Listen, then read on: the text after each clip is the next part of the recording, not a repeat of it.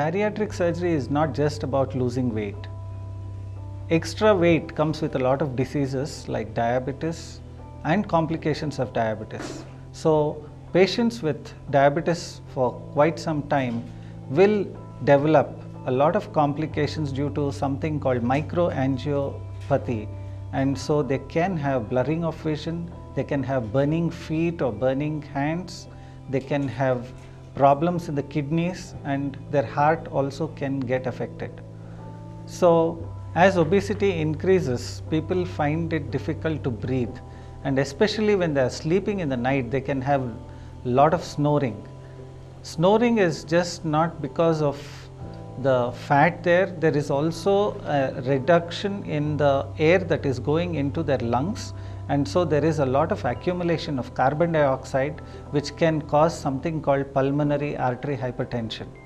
So, a condition called obstructive sleep apnea occurs in these patients and they are not very alert in the day, they go off to sleep as they are sitting.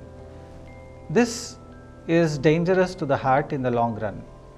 We had a patient who was 145 kgs who had diabetes and who also had obstructive sleep apnea and this patient was suffering from blurring of vision. He could not walk for more than one furlong because he had burning feet.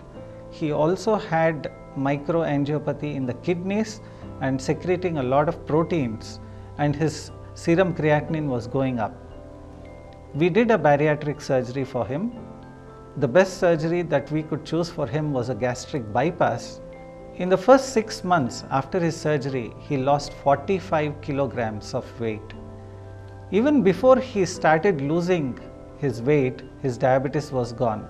He was on 124 units of insulin and was taking 6 more tablets for diabetes.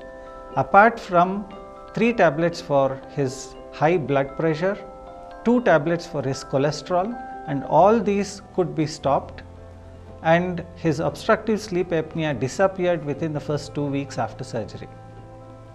Now, over 2 months we could see that his proteins in the urine had disappeared.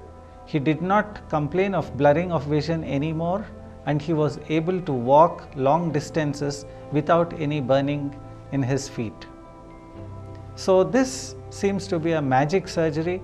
It's not just arresting diabetes, arresting his cholesterol going up, arresting his BP going up, but it is also reversing angiopathy to some extent.